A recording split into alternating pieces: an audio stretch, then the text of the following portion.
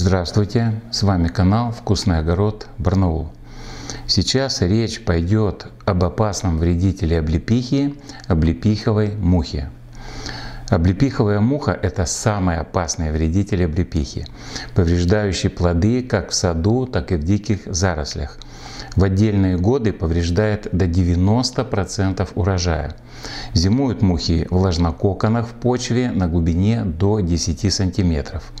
Вылет вредителя начинается в середине июня и продолжается до конца июля. Особенно активен вылет в теплую солнечную погоду. Откладка яиц начинается через две недели после вылета, в конце июня, начале июля. Самки откладывают яйца под кожицу плодов по одному-два в каждой. Одна самка откладывает до 200 яиц.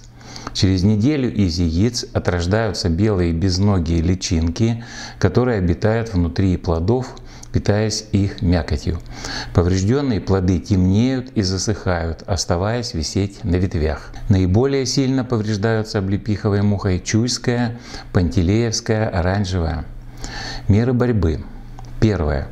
В начале июня провести мульчирование приствольных кругов торфом, перепревшими опилками, землей слоем 10 см для создания препятствия вылету мухи. Второе. С этой же целью приствольные круги в радиусе кроны можно укрыть пленкой.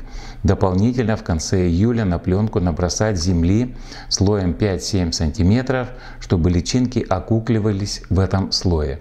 В сентябре землю просеять через сито с диаметром ячеек не более 5 мм и уничтожить коконы.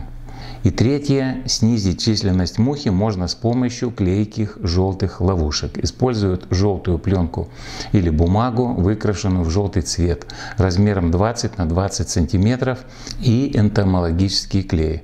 Вот такие простые меры помогут перебороть этого опасного вредителя. К счастью, у меня на дачном участке этот вредитель не попадается, ну если появится, то вот я думаю, вот эта информация пригодится. В конце пожелаю всем выращивать облепиху, получать хорошие урожаи. Всем всего самого доброго. До свидания.